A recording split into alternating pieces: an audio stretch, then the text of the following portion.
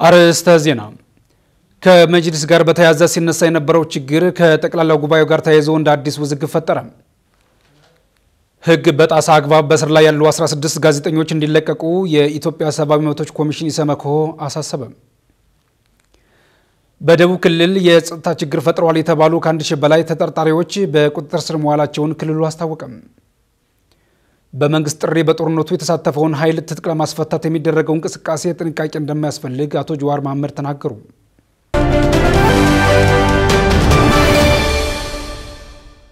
ጤና ይስጥልን እንደምን አምሽታችኋል የተከበራችሁ ተመልካቾቻችን። ከአባይ ቴሌቪዥን የዕለተ አርብ ግንቦት 19 2014 ዓ ም አውደ ዜናችን አበይት ጉዳዮችን በማስቀደም ተጀምረዋል። በአውደ ዜና ሰዓታችን የሀገር ውስጥና የባህር ማዶ መረጃዎችን ወደ እናንተ እናደርሳለን። ከዜናዎቹ ጋር ካስኝር ጋር ነኝ። አብራችሁን ቆዩም።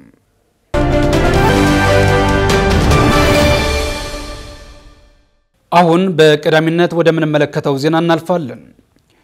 ከመጅሊስ ጋር በተያያዘ ሲነሳ የነበረው ችግር ከጠቅላላ ጉባኤው ጋር ተያይዞ እንደ አዲስ ውዝግብ ፈጠረ። ትናንት ሐሙስ ግንቦት 18 2014 ዓ ም የጠቅላላ ጉባኤው ሪፖርት ነው ተብሎ በቀረበ ውሳኔና በተላለፉ አዳዲስ ውሳኔዎች ሀጂ ኡመርና ምክትላቸው ዶክተር ጄይላን ከአመራርነት መነሳታቸው ተገልጾ ነበር። ይሁን እንጂ የትናንቱ የጊዜያዊ መጅሊስ ስራ አስፈጻሚዎች ሹምሽር ህገወጥ ነው በሚል የተቃወሙ ተቀዳሚ ሙፍቲ ሀጂ ኡመር እድሪስ አካሄዱን አውግዘዋል። ፍቅር ተከበደ ተጨማሪ ዘገባ አላት።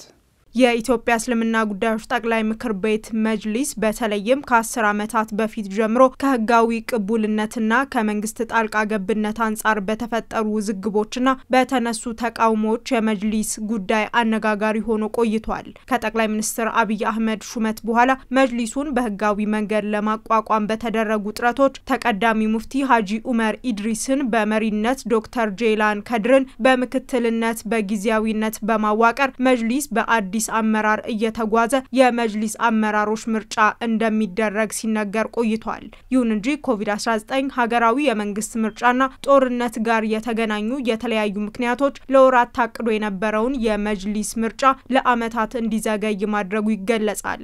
ዛሬና ትላንት አወዛጋቢ የሆነው የመጅሊስ ጉዳይ ደግሞ ትላንት ይፋ በተደረገው የመጅሊሱ ጠቅላላ ጉባኤ ነው የተባለ ሪፖርትና አዳዲስ ጊዜያዊ ስራ አስፈጻሚ ሹመት ላይ ከአመታት በፊት ኃላፊነት የተሰ ጣቸው ተቀዳሚ ሙፍቲ ሀጂ ኡመር ኢድሪስም ሆኑ ምክትላቸው ዶክተር ጄይላን ከመጅሊስ መሪነት ተነስተው ወደ ፈትዋ ምክር ቤት መዘዋወራቸው ሊገለጽ ችሏል። በዚህ ይፋዊ ሪፖርት ላይ ሀጂ ኡመር ያልተገኙ ሲሆን ምክትላቸው ዶክተር ጄይላን ደግሞ ተገኝተው ከኃላፊነት መነሳታቸውን መቀበላቸውን አስታውቀዋል። ይሁን እንጂ ከኃላፊነታቸው ተነስተዋል የተባሉትና እርሳቸው ደግሞ አልተነሳሁም ያሉት ተቀዳሚ ሙፍቲ ሀጂ ኡመር ኢድሪስ ዛሬ በሰጡት መግለጫ ከጠቅላይ ሚኒስትር አብይ አህመድ ስልጣን መያዝ በኋላ ለአንድነት ስንል ብዙ መስዋዕትነት ከፍለናል ያሉ ሲሆን ባለፉት ሶስት ዓመታት ውሃቢያ ሲሉ በጠሩት ቡድን በተለያዩ አጋጣሚዎች ሲፈጸሙብን ነበር ያሏቸውን እኩይ ተግባራት በጊዜ ሂደት ይፋ እንደሚያደርጉ አስረድተዋል።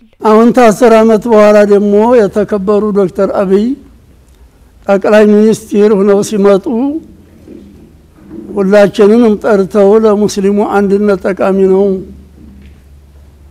አንድ ሁኑ፣ አንድ ሆናችሁ እንደው መንግስትም ተጎናችሁ ይቆማል፣ ለሀገርም ለሕዝብም ለመንግስትም አንድነታችሁ ይጠቅማል ብለው እኔንም ሁለቱንም ክፍል ሲጠይቋቸው የኔን መልካምነት ጡርነት ሲነግሯቸው እኔን መሪ አድርገው ስምንት ሰዎች ጨምረው ዘጠኝ ኮሚቴ ተባብሎ ተቋቁሞ ወደ አንድነት መምጣታችን ይታወቃል።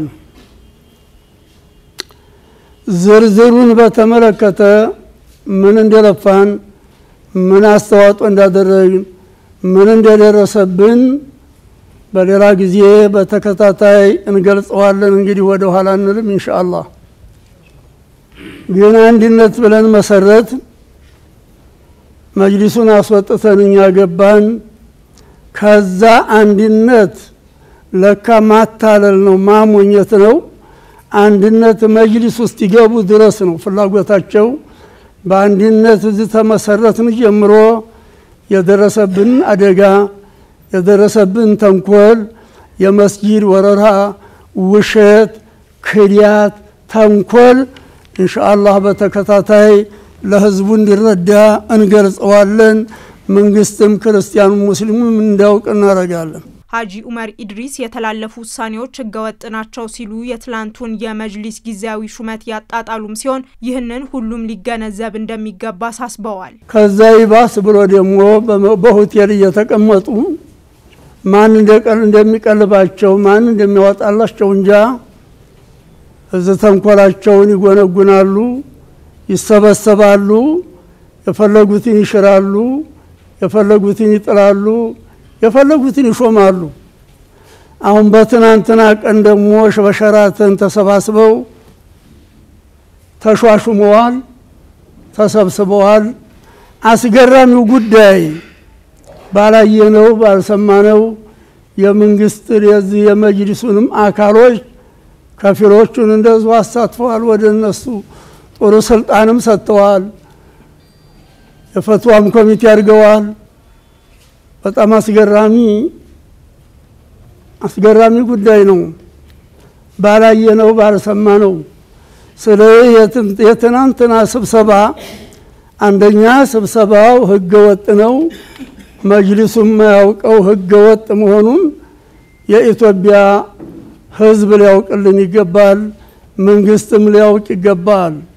ሁለተኛ የተመራረጡት ምርጫ ህገ ወጥ መሆኑን መንግስትም ሊያውቅ ይገባል።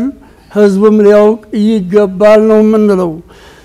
ከመመረጥ ህገ ወጥ እንደመሆኑ መጅሊሱ እንዳለማወቁ ከኛ በኩል ተቀባይነት የለውም፣ በህዝቡም በኩል በሙእሚኑም በኩል ተቀባይነት የለውም የሚል አመለካከት አለን።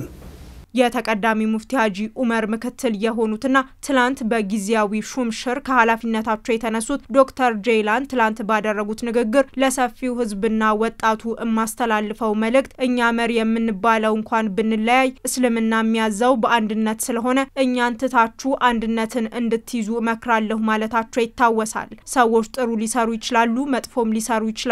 መከተል ያለብን ሰዎችን አይደለም። አንድነት አማራጭ ያለው ጉዳይ አይደለም። አማራጫችን ችን አንድነት ብቻ ነው ሲሉም ዶክተር ጄላን አስረድተዋል።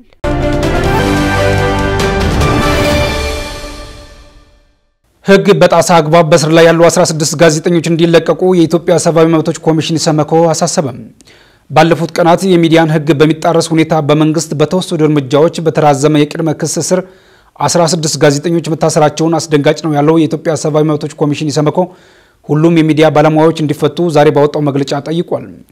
በሌላ በኩል በትናንትናው ዕለት ለእስር የተዳረጉት ጋዜጠኛ ተመስገን ደሳለኝና ጋዜጠኛ ያየሰው ሽመልስ በዛሬው ዕለት ፍርድ ቤት ቀርበዋል። ኃይለማርያም ተገኝ ተጨማሪ ዘገባ አለው።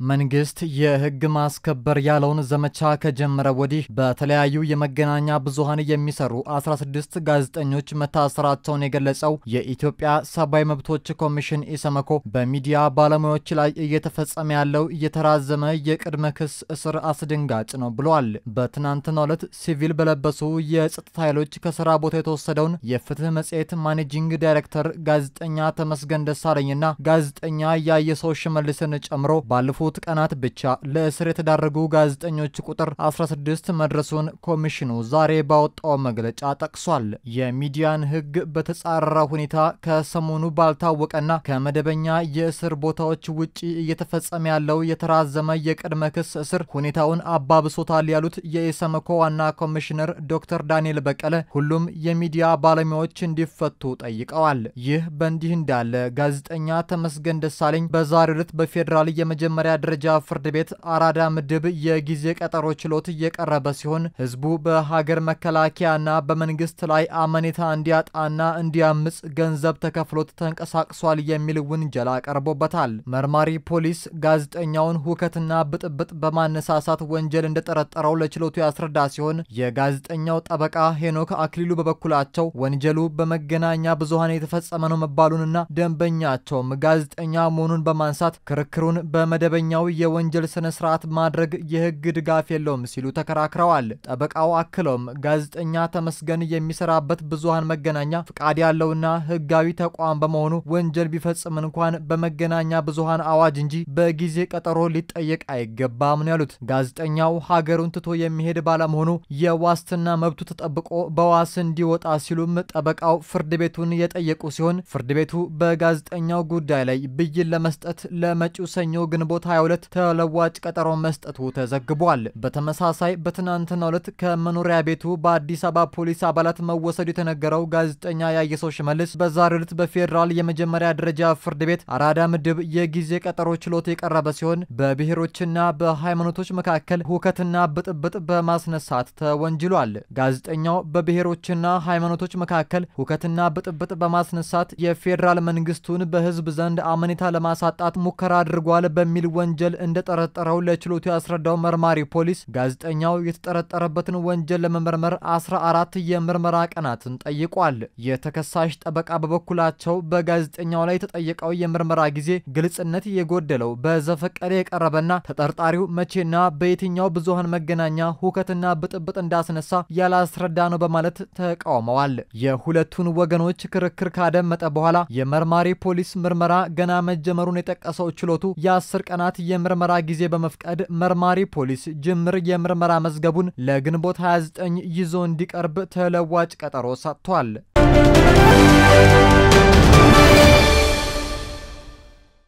የተወደዳችሁ ተመልካቾቻችን እየተከታተላችሁት ያላችሁት ከአባይ ቴሌቪዥን የምሽት የአውደ ዜና መረጃዎቻችን ነው። አሁን ደግሞ የመጀመሪያው ክፍለ ጊዜ አጫጭር መረጃዎች የሚቀርቡበት ሰዓት ላይ ደርሰናል። ራይላ ነሞትና ዳሩ ሰላም ተሾመ መረጃዎችን ይዘዋል። ተከታትለን መለስ አየር ኃይል ሀገራችን ኢትዮጵያን በንቃት ለመጠበቅ ከመቼውም ጊዜ በላይ በላቀ የዝግጁነት ደረጃ ላይ እንደሚገኝ ተገለጸ። የኢፌዴሪ አየር ኃይል በኤር ፖሊስ ያሰለጠናቸውን የሰራዊት አባላት አስመርቋል። በኤር ፖሊስ የምረቃ መርሃ ግብር ላይ የተገኙት የኢፌዴሪ አየር ኃይል ዋና አዛዥ ሌተናል ጀነራል ይልማ መርዳሳ ለተመራቂዎች ባስተላለፉት መልእክት የጀግኖች መፍለቂያ ወደ ሆነውና ሁሌም ጀግንነት ከማይለየው አየር ኃይል በመቀላቀላችሁ ልትኮሩ ይገባል ብለዋል። አየር ኃይል በአሁኑ ወቅት ሰፋፊ የሪፎርም ስራዎችን በማከናወን ብሎም በዘመናዊ ትጥቆችና በተማሪ የሰው ኃይል ራሱን በማደራጀት ላይ እንደሚገኝ የገለጹት ዋና አዛዡ ኢትዮጵያን ከማንኛውም የውስጥም ሆነ የውጭ ጠላቶች ለመጠበቅ አየር ኃይል በላቀ የዝግጁነት ደረጃ ላይ እንደሚገኝ አረጋግጠዋል።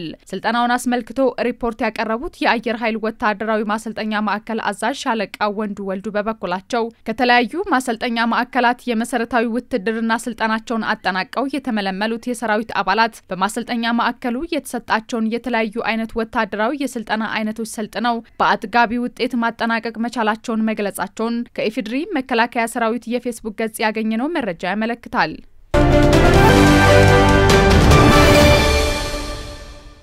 ኦሮሚያ ክልል የስነ ምግባር ጉድለት ባሳዩ ከ18 ሺህ በላይ ሰራተኞች ላይ እርምጃ ወሰደ። በኦሮሚያ ክልል ህዝቡን በአግባቡ ማገልገል ባልቻሉና የስነ ምግባር ጉድለት ባሳዩ ከ18 ሺህ በላይ ሰራተኞች ላይ የእርምት እርምጃ ተወስዷል። በሰራተኞቹ ላይ የ20 ሚሊዮን ብር የገንዘብ መቀጮን ጨምሮ ልዩ ልዩ አስተዳደራዊ እርምጃዎች መወሰዳቸውም ነው የተገለጸው። የኦሮሚያ ክልል ሴክተር መስሪያ ቤቶች የአገልግሎት አሰጣጥና የአጭር ጊዜ እቅድ አፈጻጸም ግምገማ በአዲስ አበባ እየተካሄደ ነው። በግምገማው ላይ የኦሮሚያ ክልል ርዕሰ መስተዳደር አቶ አወሉ አብዲ፣ የክልሉ ሴክተር መስሪያ ቤቶች የስራ ኃላፊዎችና ባለሙያዎች ተገኝተዋል። አቶ አወሉ አብዲ ግምገማው ከአገልግሎት አሰጣጥ ጋር ተያይዞ ህዝቡ የሚያነሳቸው ቅሬታዎች በምን መልኩ እየተፈቱ እንዳለ መገምገም፣ መልካም ተሞክሮዎችን ማስፋፋት፣ ሊቀረፉ ባልቻሉ ተግዳሮቶች ላይ የማስተካከያ እርምጃ የመውሰድ ዓላማ ያለው ነው ብለዋል። እስካሁን ድረስ የስነ ምግባር ጉድለት በታየባቸውና ህብረተሰቡን በአግባቡ ማገልገል ባልቻሉ በዞን ደረጃ በ16000 ሰራተኞችና አመራሮች ላይ በከተሞች ደረጃ ደግሞ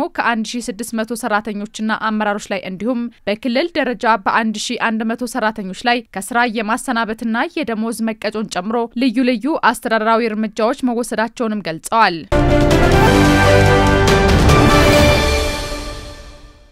ከ72 ሺህ ሜትሪክ ቶን በላይ ሰብአዊ ድጋፍ ወደ ትግራይ ክልል ማድረሱን የአደጋ ስጋት ስራ አመራር ኮሚሽን አስታወቀ። በበጀት ዓመቱ ከሐምሌ እስከ ግንቦት ወር መጀመሪያ ከ72 ሺህ ሜትሪክ ቶን በላይ ምግብና ምግብ ነክ ያልሆኑ ቁሳቁሶች ወደ ትግራይ ክልል መጓጓዙን የአደጋ ስጋት ስራ አመራር ኮሚሽን አስታውቋል። የኮሚሽኑ የህዝብ ግንኙነት ዳይሬክተር ደበበ ዘውዴ እንደተናገሩት ኮሚሽኑ ከአጋር አካላትና ከሌሎች ተቋማት ጋር በመተባበር ወደ ትግራይ ክልል የሰብአዊ ድጋፍ ሳይስተጓጎል እንዲላክ እያደረገ ነው። በዚህም በዋናነት ምግብና ምግብ ነክ ያልሆኑ ድጋፎች ነዳጅና መድኃኒትን ጨምሮ ሌሎች ድጋፎች ወደ ትግራይ ክልል መጓጓዙን ጠቁመዋል።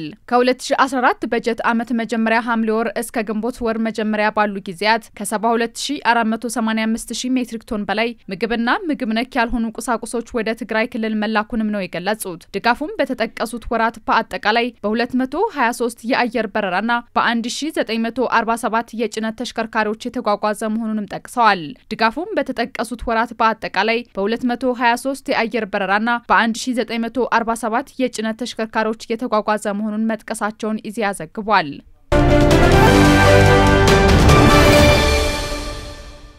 የአፍሪካ ህብረት ልዩ ጉባኤ በኢኳቶሪያል ጊኒ መካሄድ ጀመረ። የአፍሪካ ህብረት ልዩ ጉባኤውን በኢኳቶሪያል ጊኒ ማላቦ ማካሄድ ጀምሯል። ጉባኤው ሽብርተኝነትን መከላከልና ህገ መንግስታዊ ያልሆኑ የመንግስት ለውጦች ላይ ትኩረቱን እንደሚያደርግ ህብረቱ ቀደም ሲል በድረገጹ ባሰፈረው መረጃ ማስታወቁ የሚታወስ ነው። ግንቦት 17 ቀን 2014 ዓ ም የአፍሪካ ህብረት የስራ አስፈጻሚ ምክር ቤት ስብሰባውን እያደረገ ሲሆን ዛሬ ደግሞ የአፍሪካ ህብረት መሪዎች ልዩ ስብሰባ እየተካሄደ ይገኛል። የጉባኤው አጀንዳዎች ሰብአዊ እርዳታ ላይ ያተኮረና የሰብአዊ ድጋፍ ለማድረግ ቃል መግባት፣ ሽብርተኝነትን መከላከልና ህገ መንግስታዊ ያልሆኑ የመንግስት ለውጦች ላይ ያተኮረ ጉዳዮች ላይ እንደሚሆን ተገልጿል። በልዩ ጉባኤው ላይ የኢፌዴሪ ጠቅላይ ሚኒስትር አብይ አህመድን ጨምሮ የተለያዩ ሀገር መሪዎች ተገኝተዋል።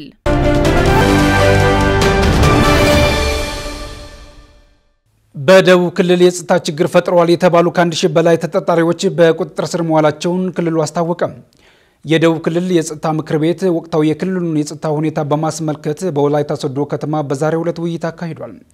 በዚህ ወቅት የክልሉ ርዕሰ መስተዳደር አቶ ርስቱ ይርዳው የክልሉ መንግስት በወሰደው የህግ ማስከበር ዘመቻ ከአንድ ሺህ በላይ ተጠርጣሪዎችን በቁጥጥር ስር መዋላቸውን ተናግረዋል።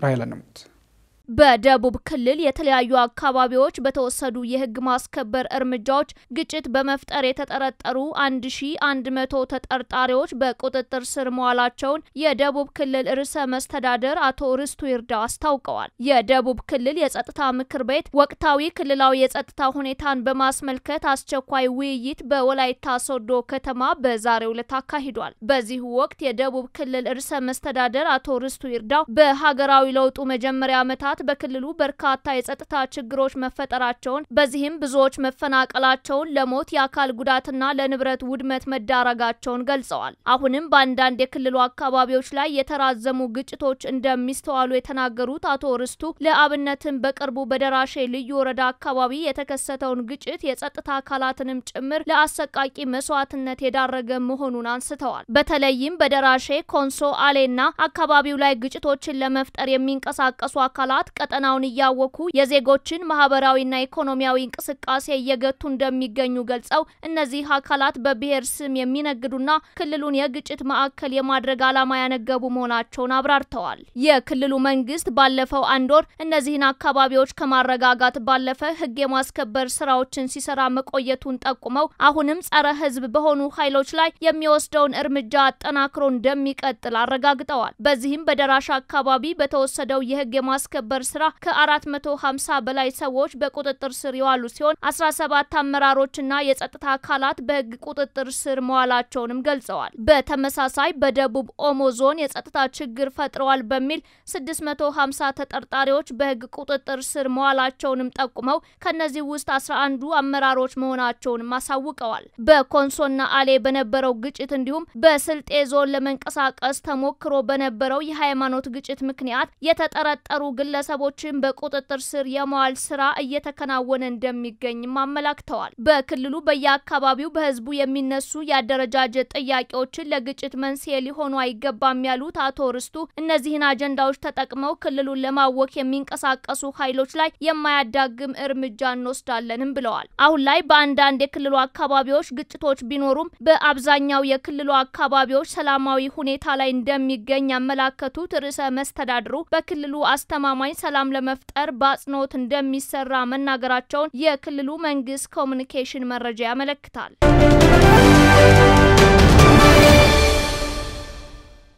በመንግስት ጥሪ በጦርነቱ የተሳተፈውን ኃይል ትጥቅ ለማስፈታት የሚደረገው እንቅስቃሴ ጥንቃቄ እንደሚያስፈልግ አቶ ጀዋር መሐመድ ተናገሩ። የኦሮሞ ፌዴራሊስት ኮንግረስ ምክትል ሊቀመንበር አቶ ጀዋር መሐመድ በሀገሪቱ ወቅታዊና ፖለቲካዊ ተያያዥ ጉዳዮች ዙሪያ ከእስር ከተፈቱ በኋላ ባደረጉት የመጀመሪያ ቃለ ምልልስ በመንግስት ጥሪ በጦርነቱ የተሳተፈውን ኃይል ትጥቅ ለማስፈታት የሚደረገው እንቅስቃሴ ጥንቃቄ ያስፈልጋል ሲሉ ተደምጠዋል። ሰላማዊት ወንደሰን ተጨማሪ ዘገባ አላት። የኦሮሞ ፌዴራሊስት ኮንግረስ ምክትል ሊቀመንበር አቶ ጀዋር መሐመድ ከእስር ከተፈቱ በኋላ የመጀመሪያ የተባለውን ኦቡንቱ ቲቪ ከተሰኘ የዩቲዩብ ሚዲያ ጋር ባደረጉት ቃለ ምልልስ የፌዴራል መንግስትና ህወሀት ድርድር ሲጀምሩ የአማራ ክልል ልሂቃን በድርድሩ አለመሳተፍ የመከዳት ስሜት እንዲፈጠር አድርጓል ብለዋል። ይህ አይነት አንዱን በማግለል የሚደረግ ማንኛውም እንቅስቃሴም ውጤቱ አደጋ ነው ሲሉ አቶ ጀዋር በቃለ ምልልሱ ላይ አስጠንቅቀዋል። አያይዘውም በመንግስት ጥሪ በጦርነቱ የተሳተፈውን ኃይል ትጥቅ ለማስፈታ ለመፍታት የሚደረገው እንቅስቃሴ ጥንቃቄ እንደሚፈልግም ተናግረዋል። በሀገሪቱ የጦረኝነት አይምሮ ተፈጥሯል ያሉት አቶ ጀዋር መሐመድ ከጦርነት ፖለቲካ ወደ ሰላም ፖለቲካ ለመመለስ ሊሰራ ይገባል ሲሉም አሳስበዋል። ከጠቅላይ ሚኒስትሩ ጋር ተገናኝቷል የሚሉና ከገዢው ፓርቲ ጋር እየሰራ መሆኑን ከእስር የተፈታውም በዚህ ምክንያት ነው በሚል ስለሚሰራጩ መረጃዎች የተጠየቁት አቶ ጀዋር ጉዳዩን አስተባብለዋል። እኔ ከማንም ጋር የግል ቁርሾ የለኝም፣ የታሰርኩትም ቢሆን በፖለቲካ ልዩነት እንጂ በግል ጸብ አይደለም ያሉት አቶ ጀዋር ከጠቅላይ ሚኒስተሩ ጋር አልተገናኘንም፣ ነገር ግን ሊያገኙን ከፈለጉ ሁሌም ዝግጁ ነኝ በማለት ገልጸው ይሁንና ከማንኛውም ጋር አብሬ ጦርነት መፋለም አልፈልግም ሲሉ ተደምጠዋል። ከጠቅላይ ሚኒስተሩ ጋር ብቻ ሳይሆን ከጃል መሮም ይሁን ከደብረ ጽዮን ጋርም ከብርጋዴር ጀኔራል ተፈራ ማሞ ጋርም ተገናኝቶ ሀገራችንን ከጦርነት አስወጥቶ ወደ ሰላምና ልማት ለመመለስ በማንኛውም ቦታና ሁኔታ ለመነጋገር ዝግጁ ነኝም ነው ያሉት። ሁሉም በጦርነት ውስጥ እየተሳተፉ ያሉ ሁሉ በጦርነት ውስጥ ያልተሳተፉ ምሁራንና ልሂቃን ወደ ጠረጴዛ መምጣት አለባቸው የሚል እምነት እንዳላቸውም በቃለ ምልልሱ አንስተዋል። ሀገሪቷ ለገባችበት ችግር ትልቁን ድርሻ የሚወስደው ገዢው ፓርቲና እንደ መሪም ጠቅላይ ሚኒስተሩ ናቸው ያሉት አቶ ጀዋር ወደ መፍትሄ የምንገባ ከሆነ የእነርሱ ተሳትፎና ፈቃደኝነት ወሳኝ መሆኑንም ተናግረዋል። ሀገራችንንና ሕዝባችንን ወደ ሰላም መንገድ ለመመለስ ባለኝ እውቀትና ተሰሚነት መጥቀም እፈልጋለሁ። ነገር ግን ለማንም ድርጅትም ሆነ ግለሰብ መጠቀሚያ መሆን አልፈልግም። ለማንም የጦር ማገዶ መሆን አልፈልግም። የማንንም አምባገነናዊ አካሄድ፣ የማንንም ጦረኛ አካሄድም መደገፍ አልፈልግም ሲሉም ተደምጠዋል። ጦርነት ቆሞ ወደ ድርድር መምጣት ቴክኒካል ነገሮች መነሳት አለባቸው ያሉት አቶ ጀዋር ለመነጋገር ጋሬጣ የሆኑ ነገሮች ተሰባብረው ድልድይ ተመስርቶ ሁላችንም ወደ መነጋገር መግባት አስፈላጊ ነውም ብለዋል።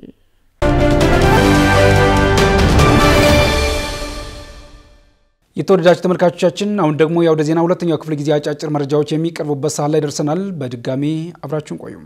በምስራቅ ጎጃም ዞን ደጀን ከተማ በህዝብ ማመላለሻ አውቶቡስ ላይ በደረሰ የትራፊክ አደጋ የአምስት ሰዎች ህይወት ማለፉን የዞኑ ፖሊስ አስታወቀ። በምስራቅ ጎጃም ዞን ደጀን ከተማ በህዝብ ማመላለሻ አውቶቡስ አስተዳደር ዳሽን ሲሚንቶ ፋብሪካ አካባቢ ግንቦት 19 ቀን 2014 ዓ ም ከቀኑ አምስት ሰዓት ላይ ከደብረ ታቦር ወደ አዲስ አበባ በመጓዝ ላይ እያለ በተቃራኒ አቅጣጫ ከደጀን ወደ ቢቸና ይጓዝ ከነበረ አነስተኛ የህዝብ ማመላለሻ ሚኒባስ ጋር ፊት ለፊት በመጋጨቱ አሽከርካሪውን ጨምሮ አምስት ሰዎች ህይወት አልፏል። እንዲሁም በሰባት ወንድና ሁለት ሴት በድምሩ ዘጠኝ ሰዎች ደግሞ ከባድ ጉዳት ደርሶባቸው ወደ ደብረ ማርቆስ ሪፈራል ሆስፒታል ሪፈር የተላኩ ሲሆን በተጨማሪም ሶስት ወንዶች በደጀን የመጀመሪያ ደረጃ ሆስፒታል እየተረዱ እንደሚገኝ በንብረት ላይም ከባድ ጉዳት እየደረሰ መሆኑንና የአደጋው መንስኤም በፖሊስ እየተጣራ እንደሆነ የምስራቅ ጎጃም ዞን ፖሊስ መንገድ ትራፊክ ደህንነት ዋና ክፍል ገልጿል። በተመሳሳይ በጣርማበር ወረዳ በደረሰ የትራፊክ አደጋ የእናትና ልጅ ህይወት ማለፉን የወረዳው ፖሊስ ጽህፈት ቤት አስታውቋል።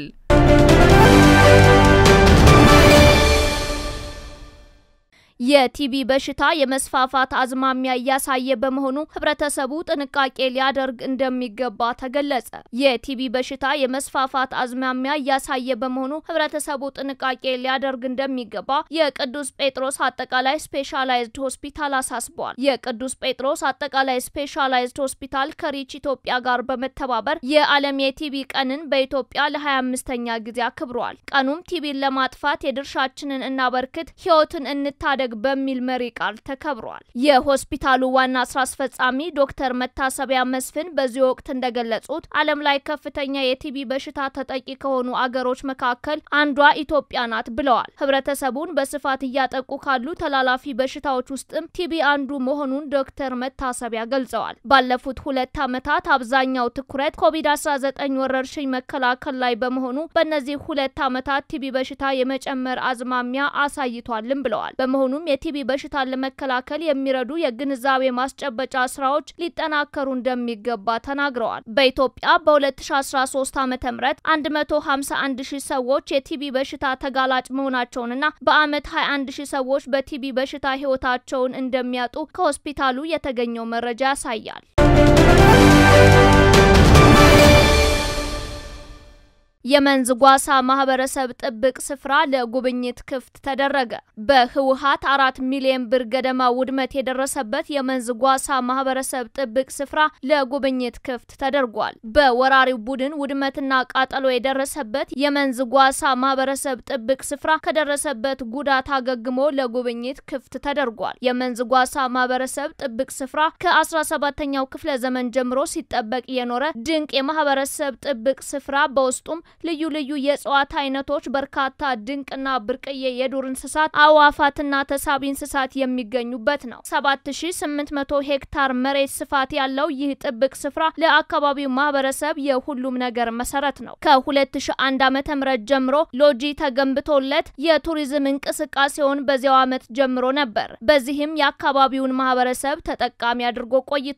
ይሁን እንጂ ወራሪ ቡድኑ አካባቢውን በወረራ ይዞ በቆየበት ህዳር 2014 ዓ.ም ጀምሮ ጥብቅ ስፍራውን አቃጥሎ ሎጂውንም አውድሟል። አሁን ላይ ውድመት ደርሶበት የነበረው የሎጂው ክፍልም መልሶ በመደራጀቱ ከዛሬ ጀምሮ ለጉብኝት ክፍት እንዲሆን መደረጉን የመንዝ ጌራ ባህልና ቱሪዝም ጽሕፈት ቤት ኃላፊን ወይዘሮ ቅመም አሸኔን ዋቢ አድርጎ አሚኮ ዘግቧል።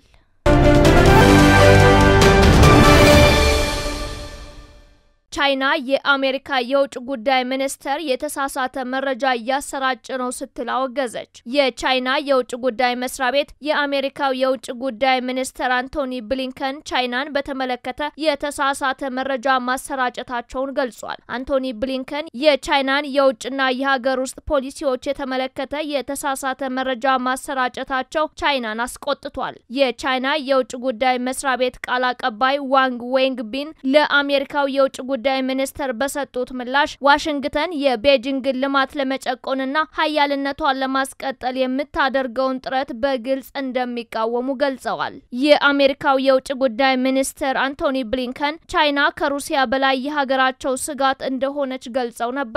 ለዓለም ስርዓት መቀየር ከሩሲያ በላይ ስጋት የምትሆነው ቻይና እንደሆነች ገልጸው የነበሩት ብሊንከን ለቻይና አጸፋዊ እርምጃ ሊሰጥ እንደሚገባም ተናግረዋል። አሜሪካ አሁንም ሀያልነቷን ማስቀጠል እንደምትፈልግ ብሊንከን መናገራቸው ተዘግቧል። ቻይና ደግሞ ስሟ አላግባብ መነሳቱን አውግዛለች።